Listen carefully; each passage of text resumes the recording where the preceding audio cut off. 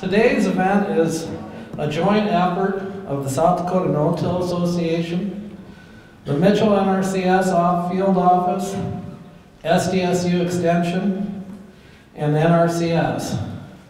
And one of the first things I'd like to do is uh, thank all our sponsors that helped us put together and provided input and money uh, for today's event. I'm going to just read through the list. Um, South Dakota Wheat Commission, Farm Credit Services of America, Wheat Growers, Mustang Seed, Monsanto, Prairie State Seeds, Next Level Ag LLC, Millborn Seeds, Lacrosse Seeds, Dakota Best Seed, Agronomy Plus, Farmers Alliance, Mitchell, First Dakota National Bank, C&D Operations and Davidson County Implement, Scott Supply, Crop Tech, Ducks Unlimited, Aurora County Conservation District, Davidson County Conservation District, Hanson County Conservation District, uh, South Dakota No-Till Association, SDSU Extension, USDA and NRCS, and Pioneer Hybrids of DuPont. So let's give them all a welcome round of applause. Um, the first speaker today is Jay Fuhrer.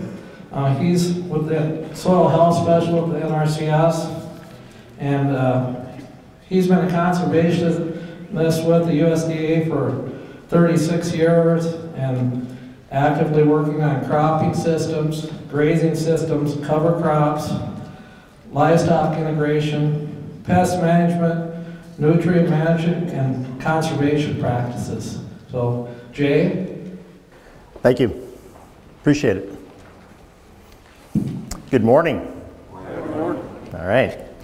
I come to you from the land of winter, and we've really had winter, and it's been really significant. I mean, it really came with a vengeance, and it uh, lasted a good, I don't know, seven weeks. We probably had a good solid seven weeks of 65 inches of snowfall, which came in a very short period of time and kind of shut the city down a little bit. But um, the good news is uh, we're also, I'm also coming to you from the land of the DAPL protesters. If you if you followed this at all, you know we've had uh, several thousand uh, protesters camped uh, south of Bismarck-Mandan for since last summer. And uh, one thing I can tell you, it um, extreme cold and snow does take a little of the enthusiasm out of the protesters. So it, it definitely uh, definitely was a little bit different. But uh, it's, it's good to be here with you and visit with you a little bit. And uh, we'll walk through some things this morning and kind of try to set the stage a little bit for the rest of the, the agenda. And uh, some of you are probably as old or older than I am in this room, and, and you, you're maybe to that stage now where you watch Nova. Anybody here watch that television show Nova? Most of you kind of going like, yeah, yeah. Even some younger people are admitting it. They watch Nova. So I'm watching Nova the other evening. And it was during that period of time where, you know, you already fell asleep in your chair and you woke up again and now you're, you're good for a little while if you've ever been there. So I'm watching Nova and they have a diamond. It's on carbon and they have a diamond. And the diamond is about the size of a diamond that you would see in a ring. Okay, it's about that size, maybe a little bigger.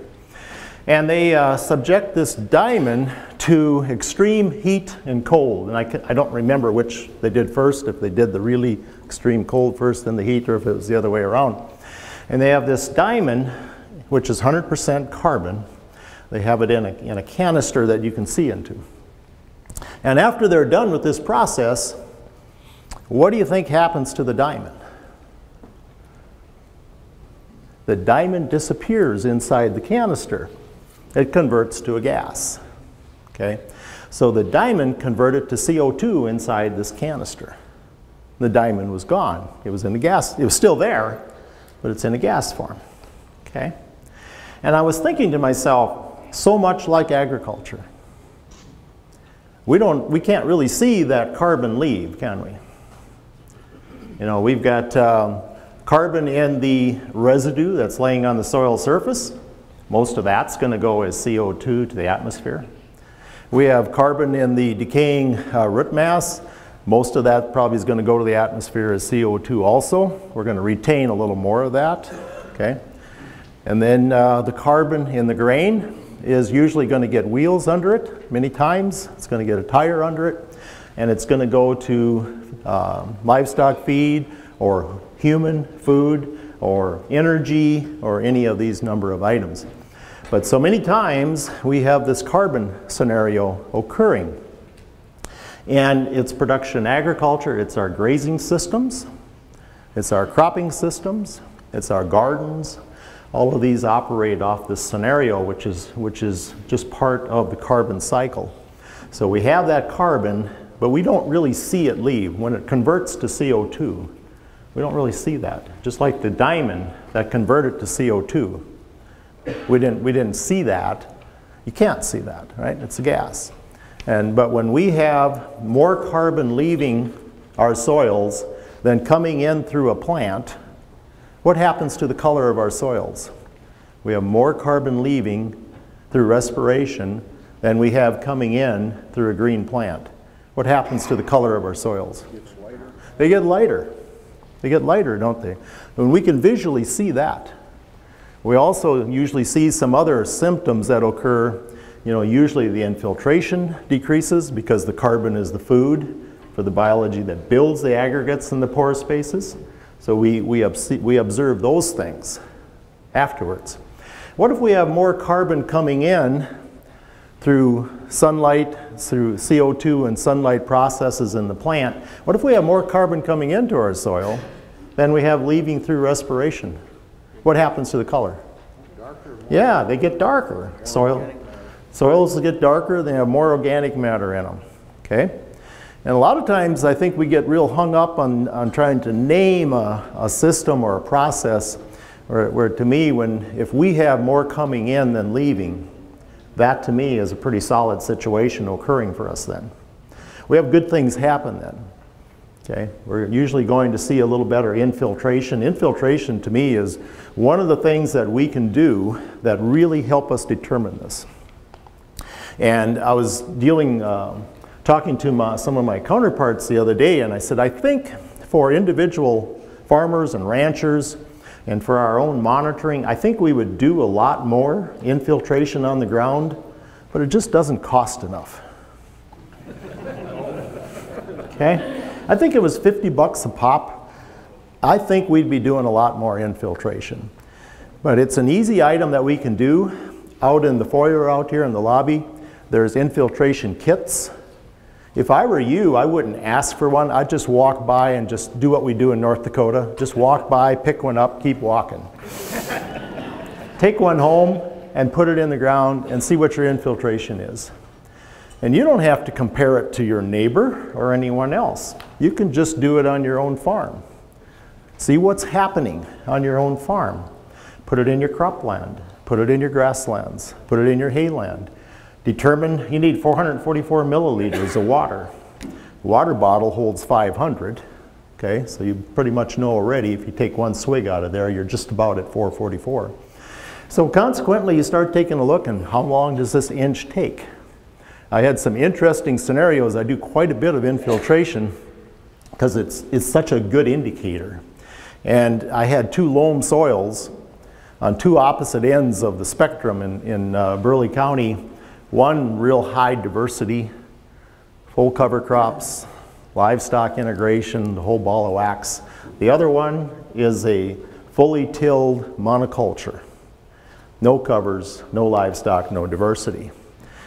So I did the one inch. So the first inch is kind of sets the stage.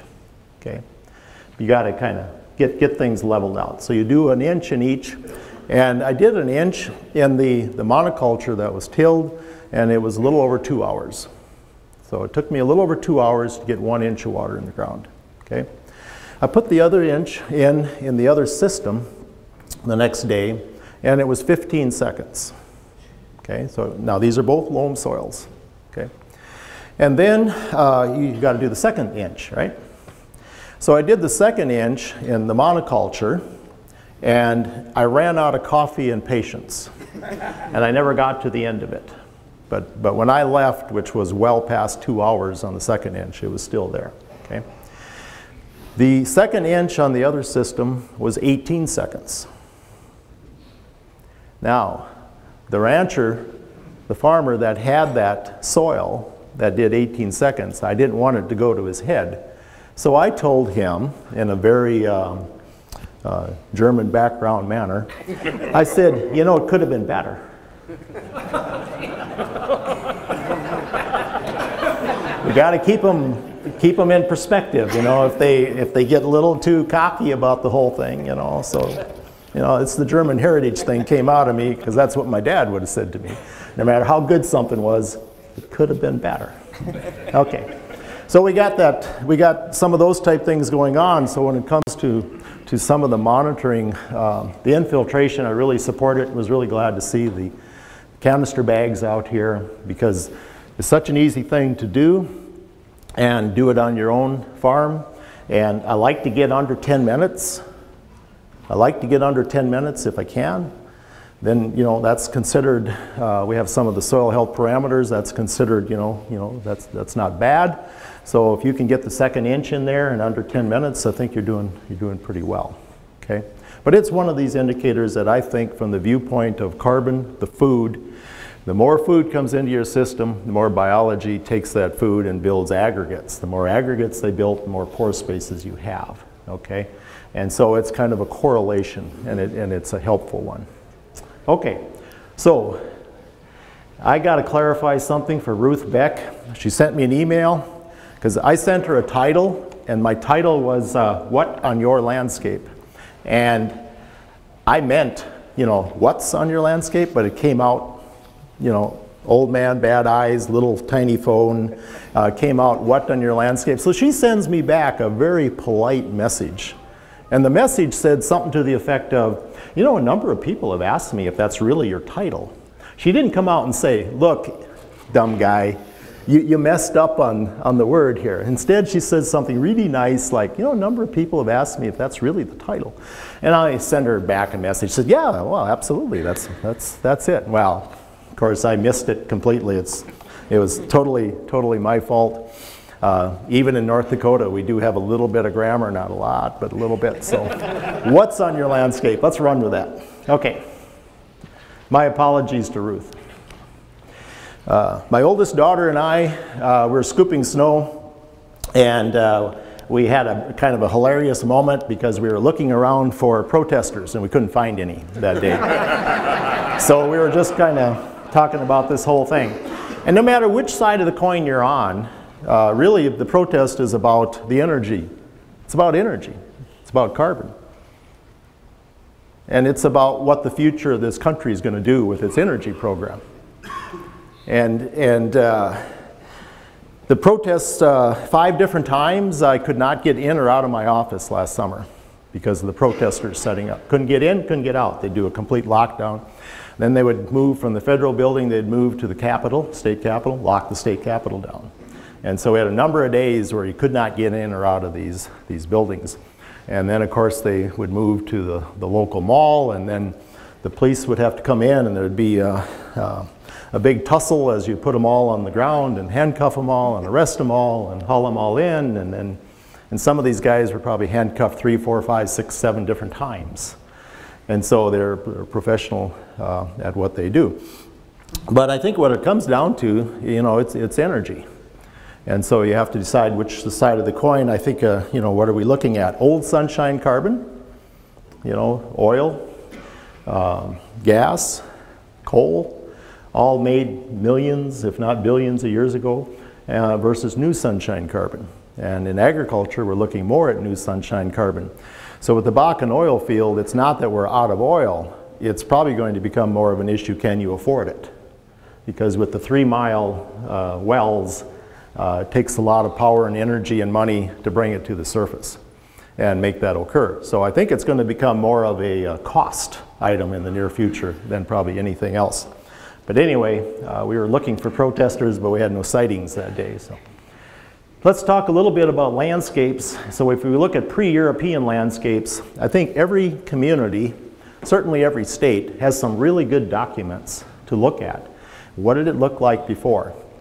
These are ones that I use, um, Lewis and Clark, McKay and Evans. McKay and Evans is a book that talks about, they were map makers. And they were there before Lewis and Clark. Lewis and Clark met with them before they started their journey. There's no recorded minutes, but what do you think Lewis and Clark met them for? What, you know? Hello? I, I think we need your map. Would you give us a map? and so the early history of North Dakota, I think, is one of the greatest ones for us because settlement in North Dakota started in the northeast corner. So in the very northeast corner of the state, right against Minnesota and Canada, is where the three large fur trading companies came in it's also where the first farmer was, and this whole, this whole thing kind of started. And it was in the late 1700s. And so that's where that process started. And this Lounsberry was the first editor of a newspaper in North Dakota. Really a great read. And he had observations and he recorded them. He also recorded all the animal harvest from the three trading posts. So you got to see the extent and, and what it was they harvested. So that's pretty interesting. And then Buffalo Bird Woman's Garden, that's one uh, Dwayne's recommended for many years, but it's probably one of the better recorded cropping systems pre-European in this country. And so it gives you an idea of what was happening on crop rotation diversity. So Lewis and Clark, yes, we get the diversity in animals, diversity in, in uh, plants. Uh, we get a pretty good idea that there was a large population because they could claim to see about 3,000 at a glance. Okay? And then if we look on a little bit further and, and we look at what Lounsberry had um, uh, regarding the Red River and the netting of fish, that don't happen too much there anymore. Okay? But at one time, it did. And then some of the winter harvest at the fur trading. Uh, then also, uh, the most interesting one to me was the bottom paragraph. Um, on Broken Stream from Pembina to Grand Forks, Pembina to Grand Forks, I think, is a good hour's drive. So from Pembina to Grand Forks, you were looking at a dead bison every rod on the bank.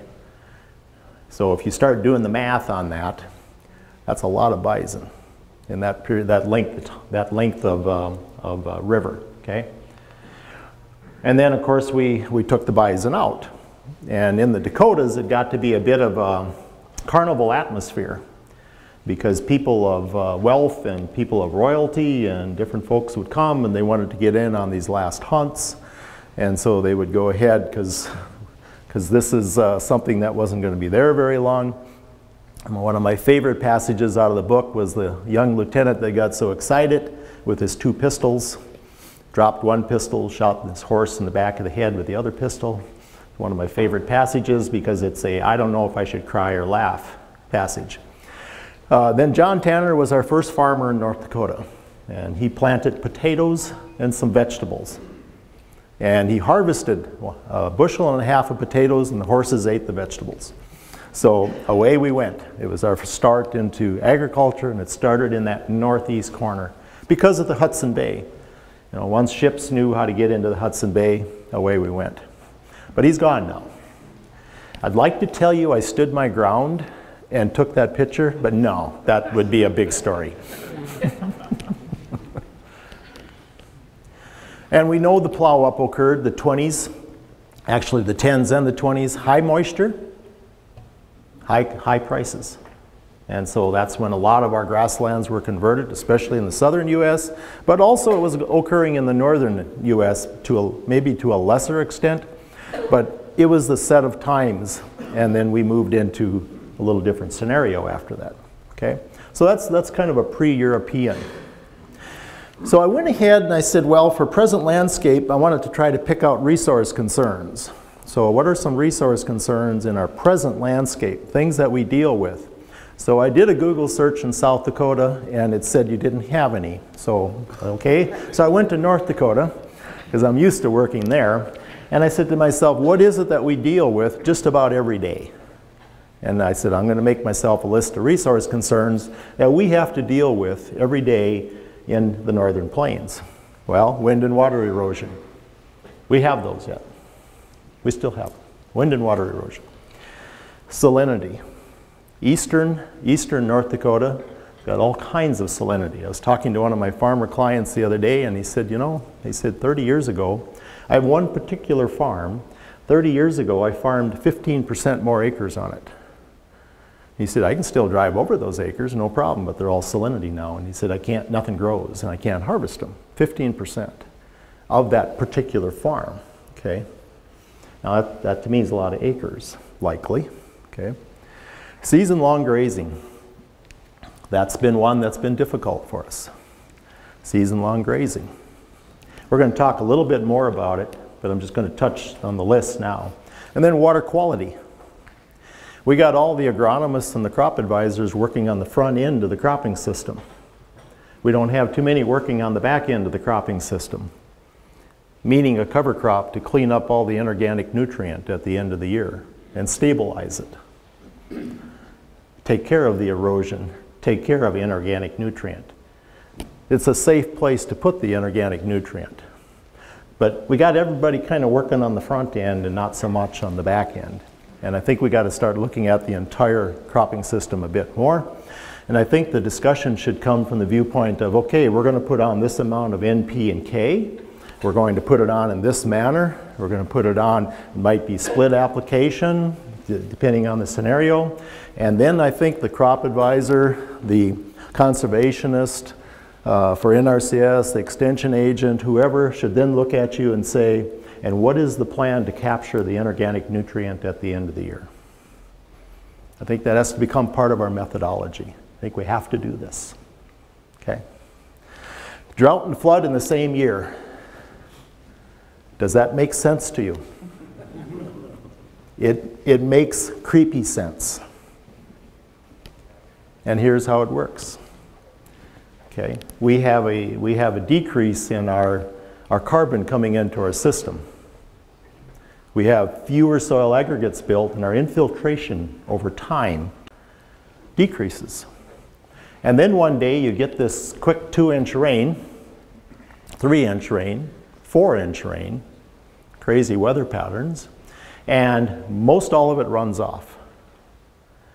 There's your flood, and a few weeks later, there's your drought. So flood and drought in the same year, once you degrade soils, almost guarantee it. Okay? Makes total sense. That's the bad part about it. Makes total sense. Lack of plant diversity and covers. We have that situation going on. We've simplified the landscape in the name of efficiency. And that's a human characteristic. I think all of us do that to some degree. You know, that's why I only have one wife. It's simpler. Okay? For 42 years. It's been simpler.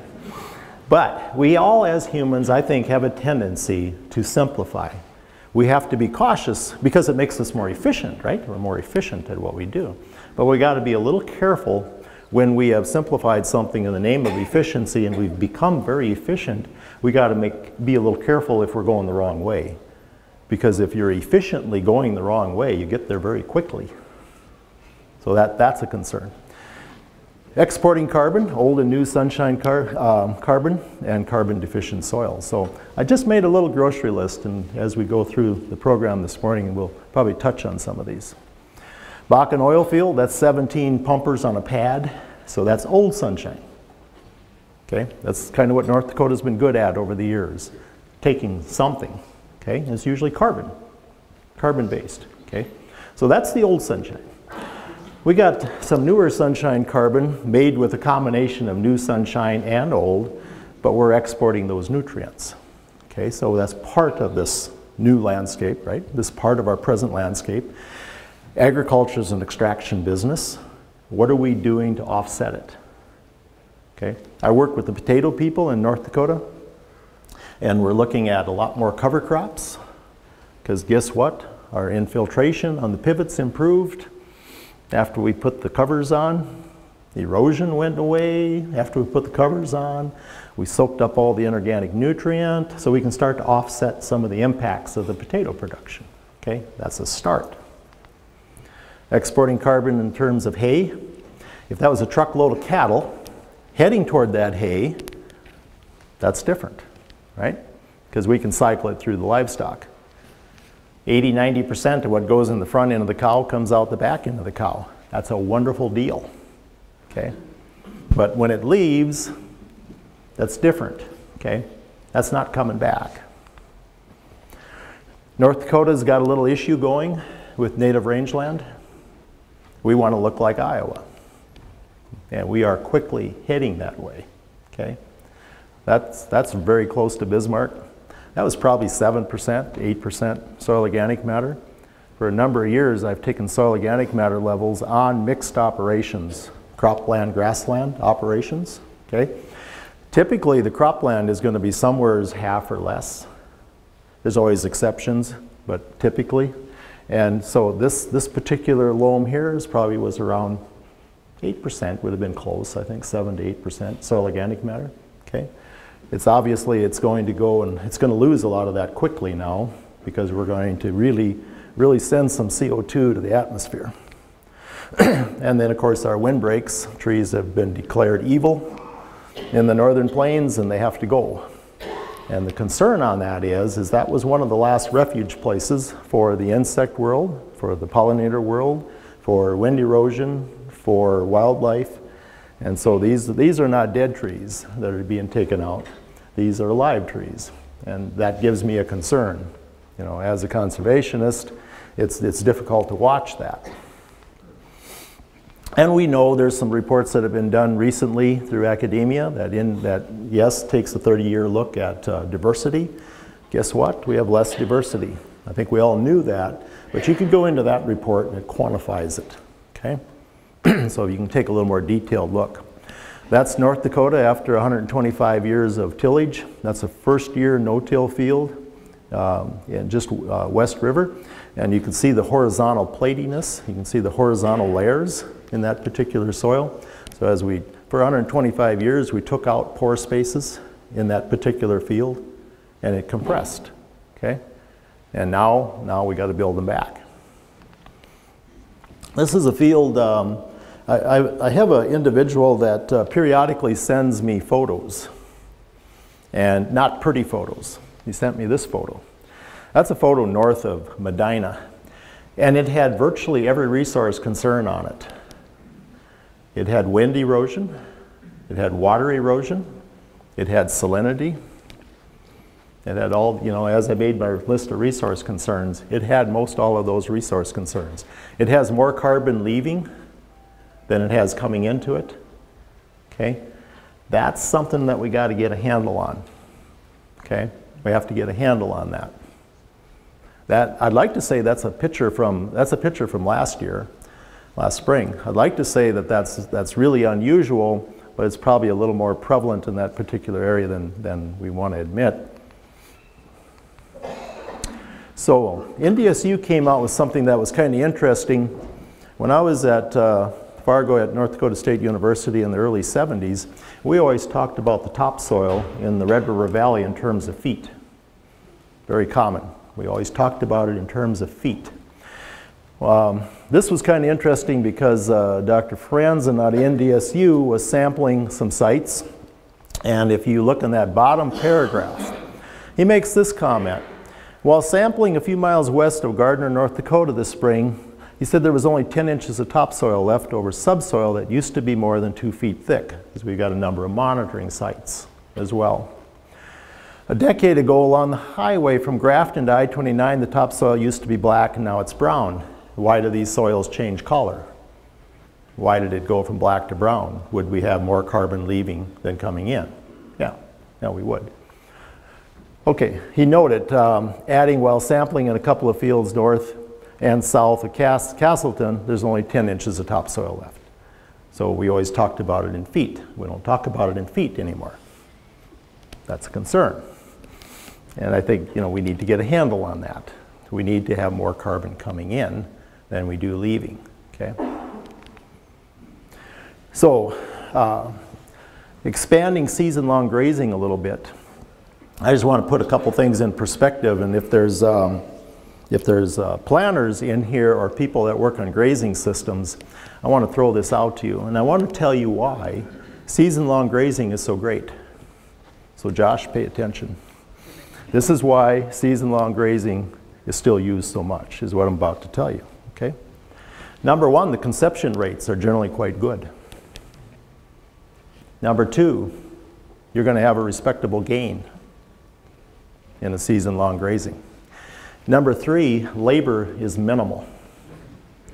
Number four, the difficulty factors.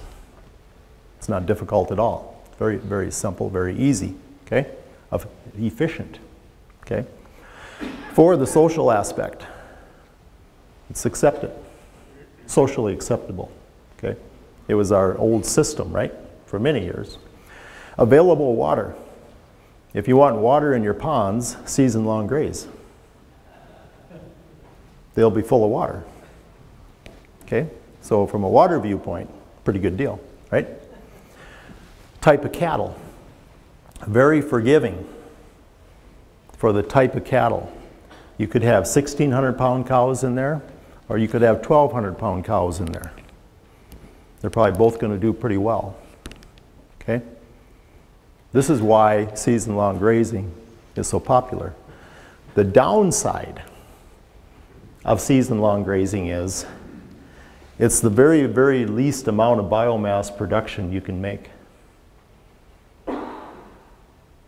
You just aren't going to get any biomass production out of it. Why? You're always harvesting regrowth. Why, are they do, why did they do so well? They have full selection.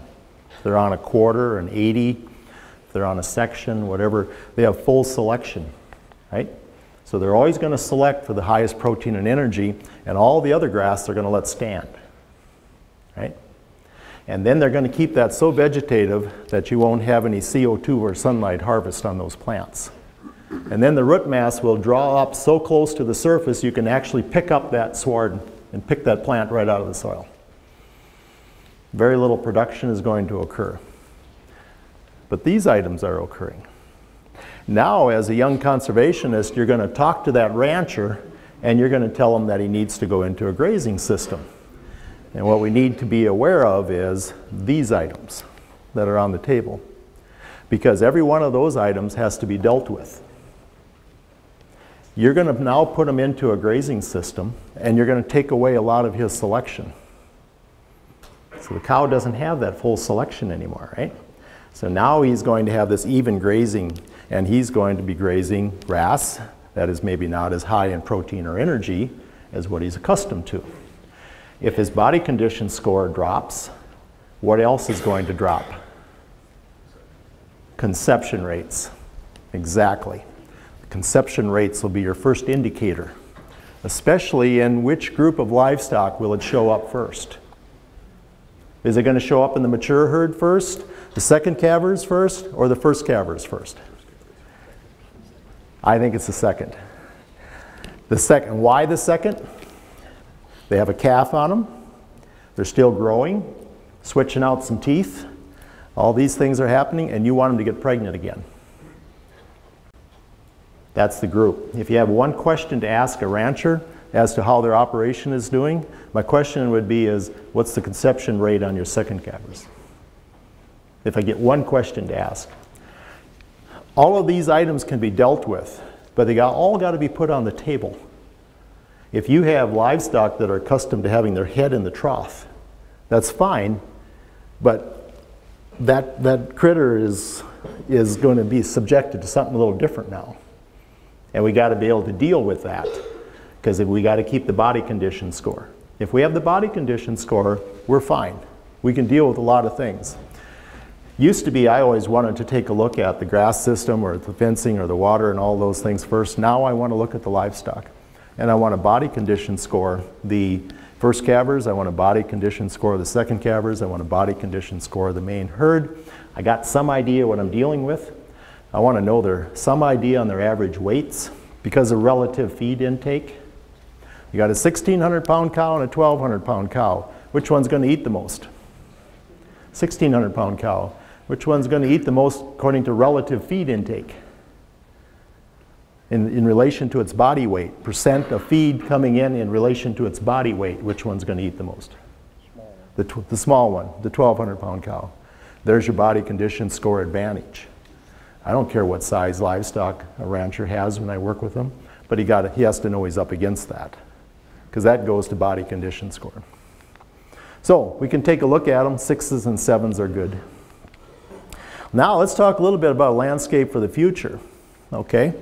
So walk through this with me. Pick out a field on your farm and get a mental image of it. Pick out a pasture if you want. Pick out a cover crop field. But pick out a field in your farm as we walk through this. Something to, to mental, a mental image of it, okay? When you look straight down in the field that's in your mind, do you see residue or do you see bare soil? Residue. I'm not going to ask you to prove that. This man said he sees residue. I don't know his name, but I like him. Okay, if you see bare soil, that's a concern. Okay? Definitely, that's one of the foundation principles of building soils. We've got to get some cover on the land. Okay? So, that's the first thing. Look straight down. What do you see? Do you see bare soil? Do you see residue? Second item, do you have soil disturbance? Have you minimized as much of that disturbance as you can? I work with some organic producers from time to time. They're typically maybe three passes a year or something like that on tillage. I try to get them to two. I get them to two, I try to get them to one. I try to start to ratchet down that disturbance. You're not going to build soils with soil disturbance. That's a CO2 escalator, right? That's going to enhance the amount of CO2 that goes to the atmosphere. You're going to have more diamonds disappearing. Okay? So we want to keep those. So how do we minimize soil disturbance? The second factor. In this new landscape, what do we have for diversity? Do you have all four crop types? If you're on grasslands, you maybe do already. Okay, if you're on grasslands, you may. If you're on cropland, do we have all four crop types in? Something to think about on each field as you go through this. What do I have? Continual live plant, do you have a cover crop? I made the comment in, uh, I was in Mankato the other day, and I made the comment that, at least in North Dakota, we have this bias toward cover crops. There's a reluctance to use one. The individual I talked to you about uh, that I said had the salinity, the 15% salinity, my, my continuing the discussion with him, I said, we need to put a cover crop in there because salinity management is water management. And I said, if we bring a cover crop in there, we can start to balance out the water better. And we can start to work more with transpiration instead of evaporation. Okay? And we can, we can do this. And he looked at me and he says, I don't want the cover crop, it takes water. I said, okay, let's, let's, let's try this over again. you got too much water. You don't have enough plant. And so we started that whole discussion over again. Okay, so there's a bit of a bias. We got people that are using cover crops, just not enough. Okay, because we can address so many things with them. Livestock integration. You don't have to have livestock, just know somebody who does. We got something wonderful called winter. I think it's the greatest time for grazing on cropland ever invented. Okay? So there's something we can look at. So you go through your particular field and just ask yourself those five questions. It's a lot. It's, it's, think of it too in terms of a systems approach. These aren't meant to stand alone. They're meant as a system. Okay. So let's take a little bit of look at covers. We'll talk about them. Uh, I like to talk about them from perennials, annuals, biannuals. So let's take a look at them. How are we doing on time here? We okay yet? So rotational perennials, the Menoken Farm where I hang out uh, in the summertime, and if you're interested in the Menoken Farm, I got brochures here up front. You're welcome to just grab one. Uh, last summer we did 31 tour days at the Menoken Farm, so 31 separate days, a group from somewheres came, and we would go through soil health principles We'd go through cover crops and grazing systems and, and, those and building soils, etc. So rotational perennials, there's 10 fields there. I try to have two of them in perennials. I'm going to establish one year, I'm going to graze them four years. Now, coming into the third year of grazing on the first one, okay, so I don't have the taken out part yet, but I do have the putting it in part. I used 21 species. I didn't have to. I could have used something less, right? But if I look at native rangeland in North or South Dakota, I'm going to have a lot of species per acre. Wouldn't be uncommon to have 50 or 75 or more. Okay, a lot of species per acre. So I'm trying to mimic that. That's what I want it to look like when I take them out. Now this is cropland that'll be in this grass for five years. Okay, so that's what I want it to look like when I take them out. I want ground cover. Gives you a kind of a pretty good look at it. They get about a half acre at a time. They're 12 acre fields. They give them about a half acre roughly. Okay. And then the weights. So these are open heifers. And you can see up here they went in on uh, 525. They came out on 630. So that's how long it took us to go through there. They were in there 37 days.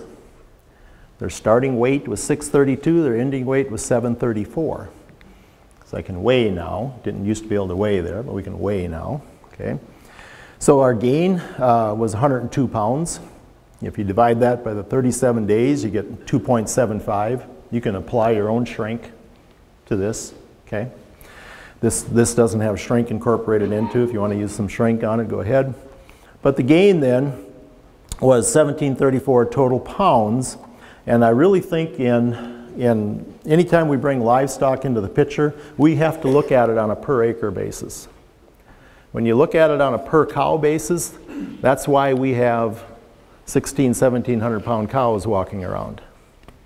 We need to look at it on a per acre basis. That's the equalizer that puts it in perspective. You can go broke looking at it on a per cow basis. That's not going to happen on a per acre basis. Okay, so I think we really always need to, to still break it down to per acre. So our gain per acre, we had 145 pounds of beef per acre produced in the first go through. Okay, now, second go through, came back in on uh, 818 for 11 days. Now they were 798 pounds after that period of time, and they put on up to 835, so they put 37 pounds on during that 11 day period. Okay, so they came back in at a heavier weight. We picked up another 52 pounds per acre. So between the two together, 145 pounds plus the 52 pounds, you know, getting close to a couple hundred pounds per acre on, on gain. Okay, so this is the front end. The, the back end of this system will be when it comes out back into crop production. Okay, but it'll be in, this is the, uh, this, will, this particular one will be in two more years. Then it'll come out and go back into a cash crop. So out of the 10 fields, there'll always be two fields rotating through for perennials, okay? It's just perennials. Annuals. You know, when we're looking at cover crops, that CO2 is in the atmosphere, right? We have to have a cover, we have to have a plant, a green plant, to get it into to take the CO2 out of the atmosphere and get it into the plant, right? Comes in through the stomata. Remember that day in biology class in high school? Remember that? No, you don't have any recollection of it? They're very honest.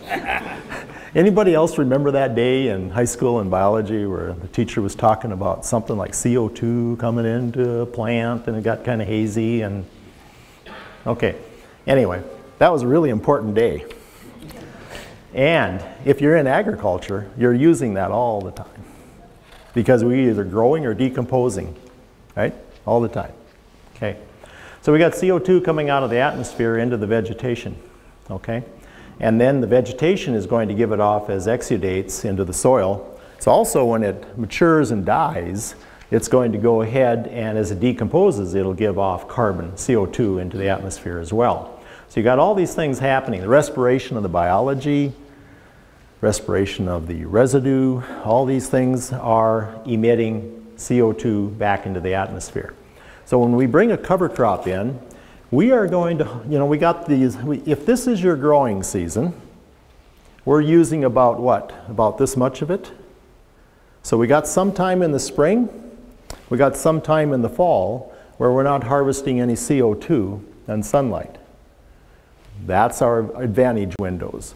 So if you bring a cover crop in, we can, we can do this in terms of that period of time. We can now harvest additional CO2. If we want more carbon coming into the system than leaving, This is a good way to look at that. I used to think cover crops were, were uh, important for crop rotation. Now I think they're essential. There's just too many things that they provide to us. And we're starting to learn more and more and more about what they do. This was uh, last year, uh, kind of toward the end of September. Uh, we had a cover crop um, evening tour. And uh, people were getting off the uh, trailer and they were walking around and they got real peaceful in there. Have you ever observed this when people walk out into a cover crop or livestock? There's, there's kind of a calming, calming impact. So I just, just an observation. Okay, this was a wheat field. So this was my wheat field. Now, if I'm going to put a cover crop in in North Dakota, central North Dakota, I got to do some things. One of them is I got to get it in as soon as the canopy comes off. When I take that canopy off and the sun hits that directly onto the residue in the soil below, I have a tendency to dry down rather rapidly. The sooner I get it in, I got more odds on my side.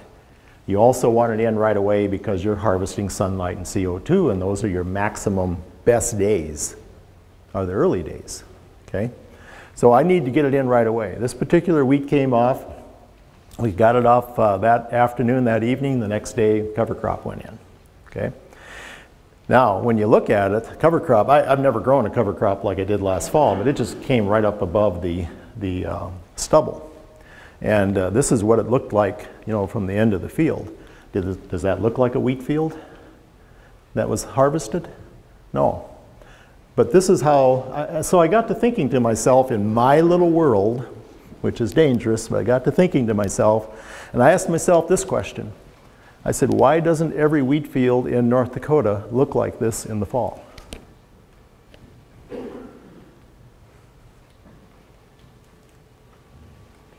That was a question. I don't know. I don't have the answer. Cost, cost too much. Yeah, it's so cost. Any other thoughts why it doesn't look this way? Never done it that way. Never did it that way before. Inconvenient. Inconvenient. Doesn't rain. Doesn't rain. Takes too much moisture. Why is it always wet in a cover crop? You're not supposed to ask those kind of questions. I don't know if you heard that. He said, Why is it always damp or wet in the cover crop field? Yeah, why do I get my shoes damp when I walk through there? Yeah. We have these paradigms in our cropping systems. So I made this comment the other day at Mankato, North, uh, Mankato, Minnesota. I said, we have a bias toward cover crops. And there's a guy in the back of the room started to fidget and I've seen this before, this fidget, okay? I know what's going to come. It won't be quite a frontal attack, but it'll be close. So he's fidgety in the back, and he's waiting for the end of the presentation because he's got a question to ask, right? So we get to the end, and we open it up for questions. The guy pops up and he says, it costs too much. There's no economics. There's no benefits that I can see on it. Before I could answer, a guy on the other side of the room said, I've been using them for three to four years, and he said, I'm not likely to go back. He said, I've seen too many benefits occurring. My soybean yield have, has increased. And he said, I took the splash out of my soybean production. I don't have the soil splash from the rainfall and bare soils onto the leaves. And, you know, those were just some of the things he saw, but he saw an improvement in his yield. So it got a little more resilient, okay? There's a whole bunch of other factors that are happening there, but it was more resilient. So that's, there, there's, but there's a bit of a bias toward it, okay? And you all explained it really well. And so how do we overcome that? But I asked myself, why doesn't, why doesn't every wheat field in North Dakota look this way? Every pea field, every lentil field. We got all kinds of windows for them. Okay. I try to get them into the cropping system at the Menoken farm. That's just vetch laying in the bottom of corn. Hairy vetch makes some people tighten up really bad, to which I say, use a different legume then. You know, it, it, it's the concept, not hung up on the plant. It's the concept. Sunflower production at the Menoken farm, that's with seven cover, uh, broadleaf covers in it. You know, that's not a insured crop, by the way, but maybe someday will be. Okay? Warm season covers. I can take a look at a warm season cover. We got a number of people that are growing full season covers that I never saw coming. I never saw this coming. And so in our environment across North Dakota, all of a sudden you'll be talking to somebody and you'll say, well, I grew a full season cover on one field and I wintered on it. And then I put it back to crop production the following year, picked out a different one. Never saw that coming. So I grow one warm and one cool season mix each year because when these 31 groups, thank you, when these 31 groups come, they want to go walk out in there. They want to take their picture. I've had people lay down in there. They, they want to close their eyes and listen because what do you hear when you're in there? It, it's alive. It's just alive with, with the insect world. I clipped it, I dried it, clipped it, 9,000 pounds. How much of that material would I want to take off with the livestock? That's the right answer right here. He just says it's so, so low. About half. Yeah. I think that's a really good place to be. These are the guys that I try to take it off with. They also, the sheep are in there. You just have to take my word for it. I also uh, have done a fair bit of monitoring with NUTBAL and forage analysis on winter grazing, so I got a pretty good idea on a lot of these mixes if we can meet their needs or not, okay? And we know what their needs are in various stages, so we know that. And this particular one, where's the, oh, let's see if this thing will run. I got a little video clip here, just a few seconds if it'll cooperate.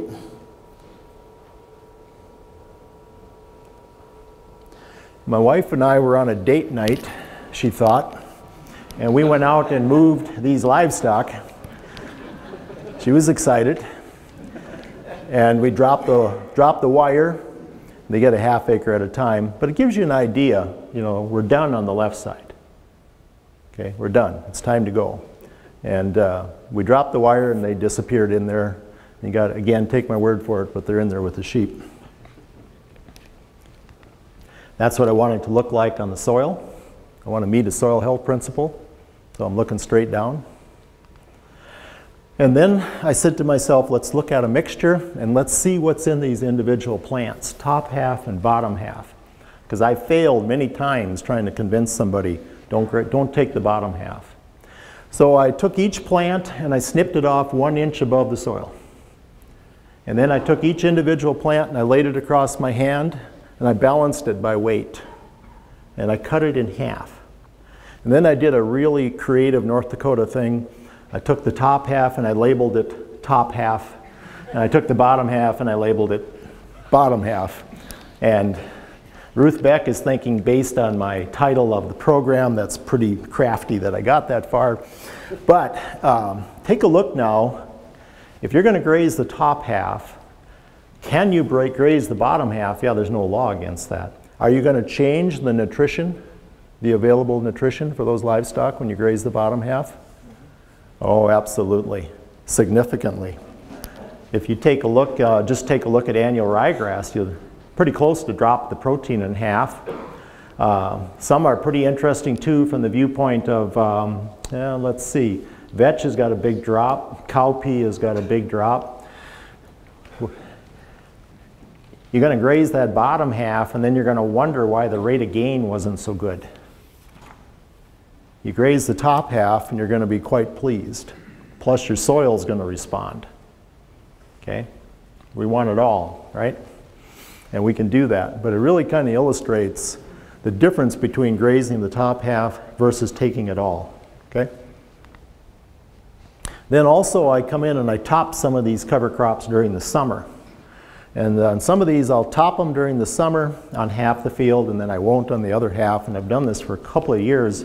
And there'll be a difference on uh, the amount of carbon, which then equates to the biology. So I'll give you an example. You grow a plant to maturity, it'll produce X amount of carbon. I think we all agree with that. Okay? How do you get more carbon out of that plant? If you could do it over again, how do you get more carbon out of the plant? Yeah, you can stress the plant, can't you? So if you came in and you topped it with grazing, and you took the livestock off and you let it regrow, you've now extended the period of time that that plant can harvest CO2 and sunlight. Okay? So you have these things occurring. The cattle are very difficult to uh, compete against. Uh, typically, we're, I've never, I guess I haven't seen it otherwise, but where I graze them, I typically am going to get a little more carbon. Okay? It really helps explain why livestock aren't important. While wildlife and livestock, why they're not important for the planet, it explains why they're essential for the planet. Yeah. We're, we're not in the Q and A period, sir. I really can't. uh, No, I'm just, go ahead. If you hayed that, would you cut it like a foot high? Yeah, the problem with the haying is, um, how, how does, how do livestock graze? He's, he's gonna go ahead and kind of wrap his tongue around that plant and pull it, right? They're a tug, okay? You're gonna cut it, okay? And probably cut it lower. lower Yep, lower than you should. And you probably don't have any biology on that cutter. So the cow is going to have the biology in its mouth that's going to be on that plant and the saliva and all these things that are going to occur. Um, so if we can graze it, because the cattle are so good at, at uh, processing recycling, the vast majority of it, as it goes through them, is going to stay in the field. So they are just tailor-made for building soils. But if you do hay it, it. Oh, if you did hay it, of course, if you left a little bit more, that would be advantageous, but the, the big issue is you're gonna export it off, right? Yeah, but if you did, Sometimes yep, yep, exactly. Okay, I think we're getting close to, probably a good place to maybe stop. Um, What do we got left, five minutes or two minutes? We got time for a couple questions?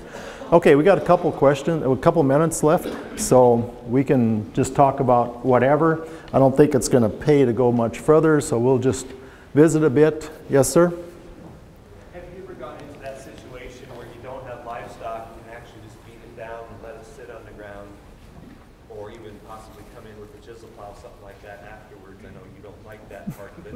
But at least you're leaving the carbon there, and if you're trying to work on that, you have the higher sugars in a green plant than obviously you do in a Yeah, I, I haven't done that uh, to speak of. I have rolled uh, cover crops before, where I rolled them onto the soil surface, rolled half and grazed half.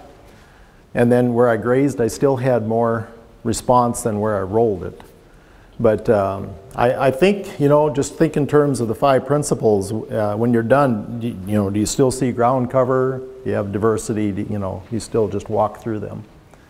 But I haven't, I haven't uh, specifically done it in the manner that you just described. Because to me, when you're breaking that plant apart more, you got more locations for biology if you do have them in the soil.